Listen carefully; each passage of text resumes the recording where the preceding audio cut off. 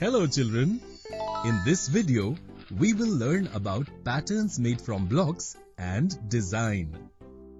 Banno monkey was walking in the market when Chanda saw her.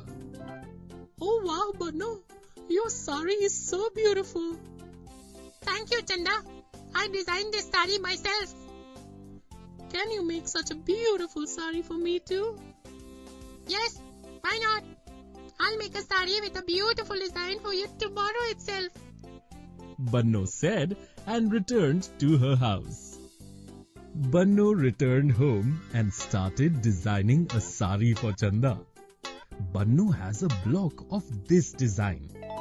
She first dipped her block in a box of color and made an impression on the sari using her block in this way. She then made a second impression by dipping the block in the box of color again, this time rotating the block a quarter in the clockwise direction. Banno continued to make the design on Chanda's sari in this way by every time dipping the block in the box of color and rotating it a quarter from the previous impression.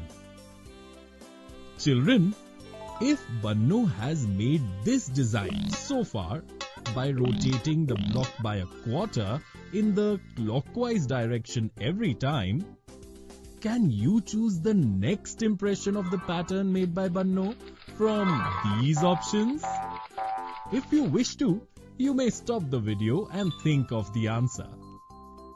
Because Banno rotates the block a quarter in the clockwise direction every time to create this pattern, to make the next impression, we have to rotate this impression by a quarter in the clockwise direction.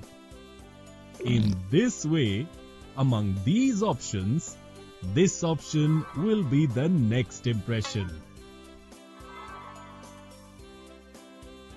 Banno made a beautiful design in this way on Chanda's sari and the next day she gave that sari to Chanda. Chanda liked that sari very much. The very next day she went shopping in the market wearing that sari. Everyone liked Chanda's sari in the market. Banno has designed this sari for me. Chanda said. Then what was to happen? Banno got orders to make a lot of saris the next day. Children, if Banno has made such a design on one of the saris, can you find the rule of this pattern?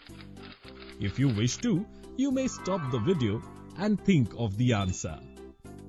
If we look closely, we will find that this impression has been made by rotating the previous impression by half in the clockwise direction. In order to create this pattern, Banno has rotated the block of the design by half in the clockwise direction each time. Saris made by Banno became very famous throughout the village. And Banno also opened her own sari shop in a very short span of time. Children, in this video we learned about patterns made from blocks and design. In the next video, we will learn more about it through some interesting examples.